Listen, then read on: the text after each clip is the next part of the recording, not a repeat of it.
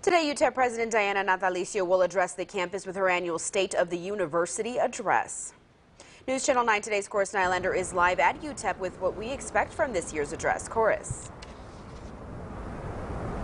Good morning. Well, this address could be Dr. Diana Natalicio's last uh, State of the University address after 30 years at the helm if the campus can find a new president soon. As we reported, Dr. Natalicio's announced her retirement back in May. A special committee still in place to find a successor. At today's address, it's unclear exactly what topics she's going to touch on, but it has been a year of constant growth for UTEP. According to school staff, this has been the 20th consecutive year the university has seen an increase in enrollment enrollment numbers here. The semester numbers reaching 25,151 students, surpassing an all-time high set last year.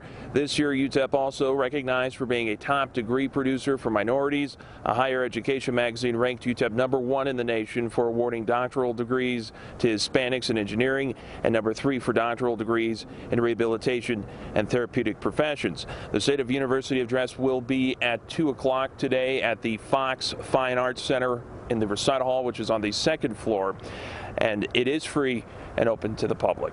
Reporting live from UTEP this morning, Chorus Nylander, News Channel 9.